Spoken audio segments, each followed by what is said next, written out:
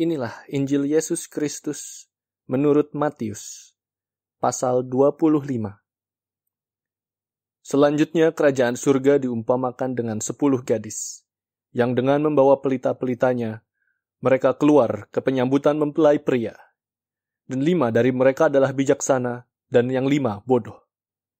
Mereka yang bodoh, seraya membawa pelitanya sendiri, mereka tidak membawa minyak bersamanya.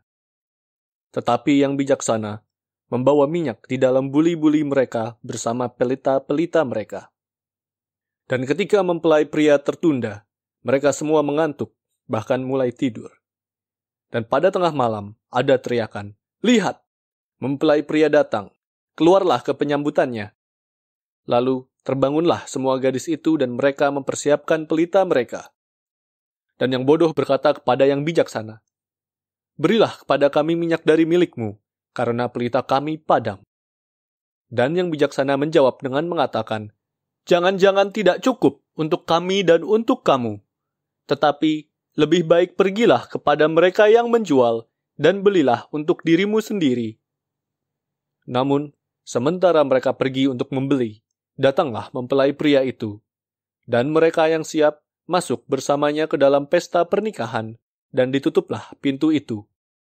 Dan sesudah itu, Datanglah pula gadis-gadis selebihnya, seraya berkata, Tuan, Tuan, bukakanlah bagi kami. Namun, seraya menanggapi, dia berkata, Sesungguhnya aku berkata kepadamu, aku tidak mengenal kamu. Oleh karena itu berjaga-jagalah, karena kamu tidak mengetahui hari, bahkan waktu, ketika anak manusia datang. Sebab, sama seperti seseorang yang pergi jauh, telah memanggil hamba-hambanya dan menyerahkan kepada mereka apa yang menjadi miliknya. Dan kepada yang seorang ia beri lima talenta, dan yang lainnya dua, dan yang seorang lagi satu, masing-masing sesuai dengan kesanggupannya, dan dia segera berangkat. Dan setelah pergi, yang menerima lima talenta itu bekerja dengan talenta itu dan menghasilkan lima talenta lain. Demikian pula yang dua juga menghasilkan dua lainnya. Namun, yang menerima satu setelah pergi menggali lubang di tanah dan menyembunyikan uang tuannya. Dan sesudah sekian lama, datanglah tuan hamba-hamba itu dan mengadakan perhitungan dengan mereka.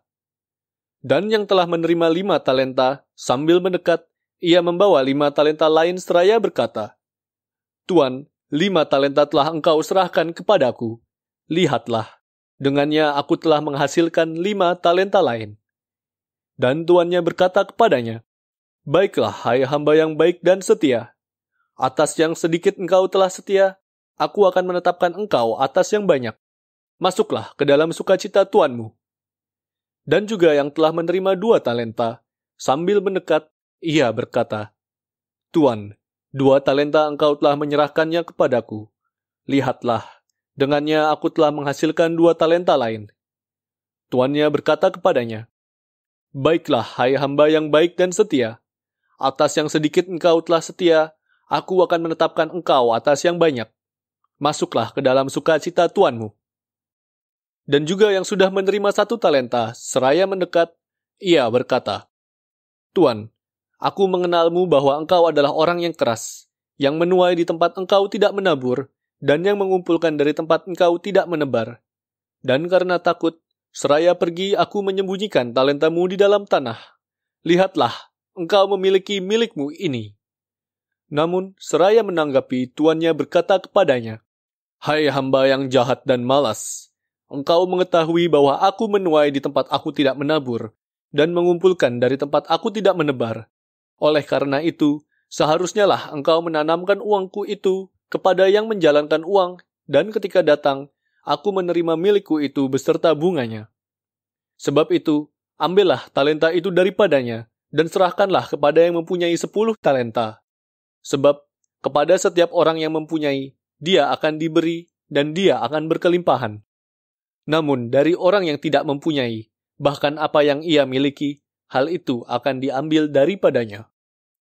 Dan campakkanlah hamba yang tidak berguna itu ke dalam kegelapan yang di luar, di sana akan ada tangis dan kertak gigi.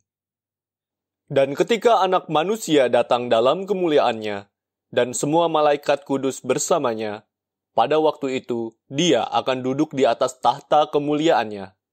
Dan segala bangsa akan dikumpulkan di hadapannya, dan dia akan memisahkan mereka satu dari yang lain, sebagaimana seorang gembala memisahkan domba dari kambing. Dan sesungguhnya, dia akan menempatkan domba-domba di sebelah kanannya, tetapi kambing-kambing di sebelah kiri.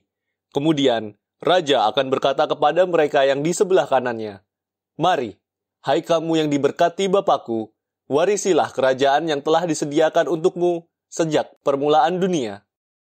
Sebab aku lapar dan kamu memberi makan kepadaku, aku haus dan kamu memberiku minum, aku seorang asing dan kamu menyambutku.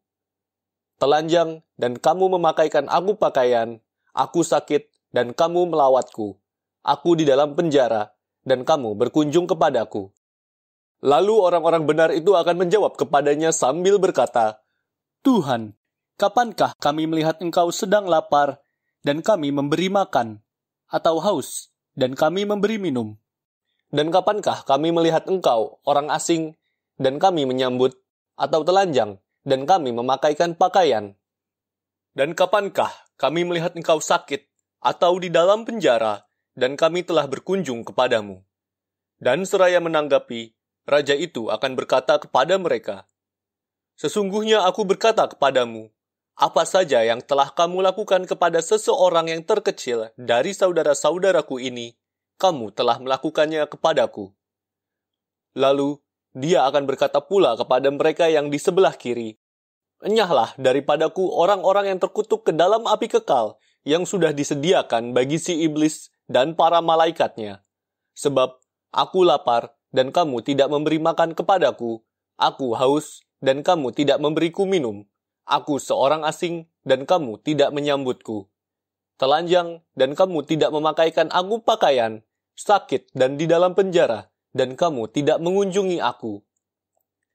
Pada waktu itu, mereka pun akan menjawab kepadanya dengan mengatakan, Tuhan, kapankah kami melihat engkau lapar atau haus, atau seorang asing, atau telanjang, atau sakit, atau di dalam penjara, dan kami tidak melayani engkau. Kemudian dia akan menjawab kepada mereka sambil berkata, Sesungguhnya aku berkata kepadamu, apa saja yang tidak kamu lakukan kepada seseorang yang terkecil ini, kamu juga tidak melakukannya kepadaku. Dan mereka ini akan menuju ke dalam penghukuman kekal, tetapi orang-orang benar ke dalam kehidupan kekal.